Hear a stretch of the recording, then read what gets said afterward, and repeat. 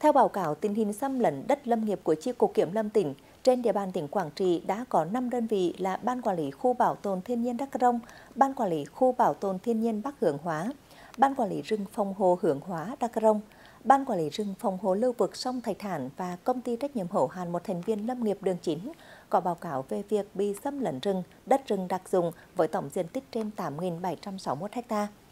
Tuy vậy, trong tổng diện tích bị xâm lấn của các đơn vị nói trên có 4.138,947 ha bị xâm lấn cần thu hồi, còn lại là diện tích thuộc diện bóc tách bàn giao cho các địa phương theo quy định.